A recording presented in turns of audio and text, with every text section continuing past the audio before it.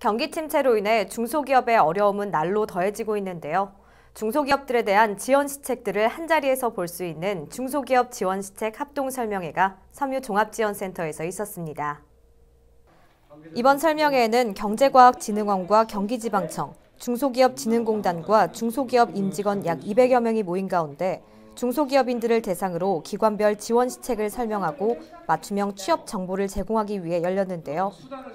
합동 설명회에는 중소기업청과 경기도 및 산하기관 기업 지원 시책 설명으로 이루어졌는데요. 많은 중소기업인들은 다양하고 유익한 지원 시책의 내용을 들으며 각종 지원 사업을 살뜰히 챙기는 모습을 볼 수 있었습니다. 또 정부 R&D 지원금 성공 전략을 듣는 시간이 있었으며 설명회장 밖에서는 중소기업의 애로사항 등을 상담해주고 질의응답을 할 수 있는 자리를 마련하면서 중소기업의 성공을 적극 도왔습니다.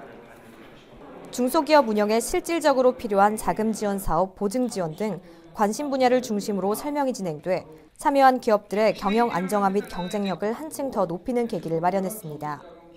작년 한 해 경제 분야에서 다양한 성과를 얻어냈으며 올해도 기업하기 좋은 도시를 만들기 위해 부단한 노력을 하고 있는 우리 양주시. 중소기업들이 지원 시책을 정확하게 알고 많은 도움이 되었길 바라며 글로벌 강소기업으로 성장하길 희망해 봅니다.